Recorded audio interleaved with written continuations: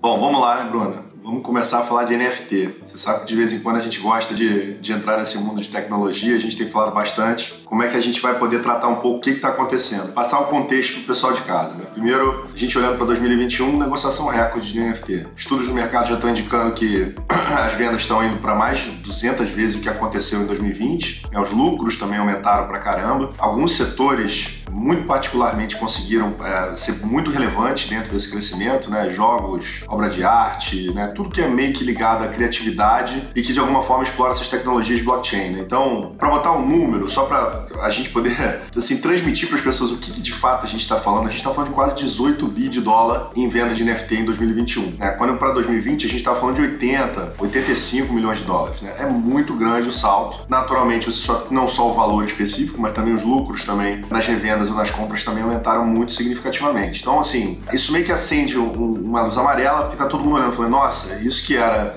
pequeno, né, assim, em escala global, agora virou um negócio relevante. Então, alguns sinais já começam a chamar a atenção das pessoas. Né? O volume de compradores ainda é maior do que o de vendedores, mas o volume de vendedores tem crescido proporcionalmente mais. E a duração da propriedade, né, do tempo que as pessoas ficam com esses ativos, caiu muito. Então, quando você olha, por exemplo, 2021, você está olhando para um cenário em média que os NFTs foram mantidos em menos de 50 dias, né, 48 dias. Só que quando você olha para 2020, você está olhando para 156 dias de média. Então as pessoas estão comprando e revendendo mais rapidamente NFTs e num passo, sim, violentamente rápido. Então a gente olha para esses estudos, eles estão começando a falar, olha, tem sinais aqui para você começar a se preocupar, né? sobretudo se você for um novo comprador inexperiente, que eventualmente você pode ter alguma situação que poderia estar tá envolvendo em bolha. A gente aqui não está naturalmente na posição de dar qualquer tipo de conselho é de investimento, não é esse o objetivo do canal, mas é interessante a gente analisar o fenômeno, né? Cresceu muito, cresceu rápido, os valores deixaram de ser assim marginais né, no cenário global e agora você está de fato crescendo violentamente. Será que é hora de passar aqueles cinco minutos para a gente começar a ver se tem alguma coisa, tem algum risco no cenário?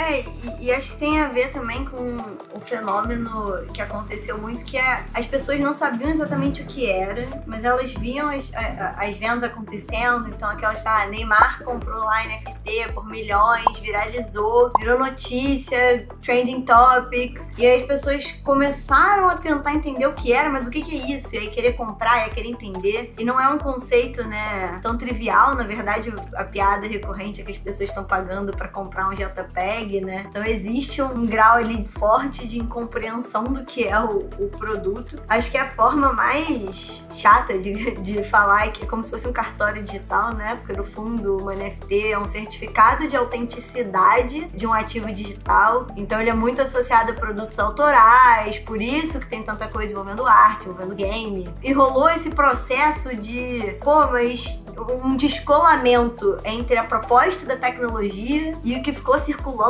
muito tempo na mídia. E aí tem aquela. Quando você fala em uma bolha financeira, né? O período de euforia. Então tem muita gente questionando se essas movimentações que você falou do mercado estão associadas a um processo de euforia, né? Envolvendo esse tipo de ativo e o que, que vai acontecer depois. Então acho que os ouvintes, né? Acho que tem um, um processo que vale reforçar que é o que, que é uma NFT, né? Que é esse certificado de autenticidade digital. Ele não é o JPEG que você dá o print lá no macaquinho do Neymar. E entender pode ajudar a entender por que, que ele pode ser útil no futuro, ou por que, que talvez tenha virado uma bolha, o que, que viralizou.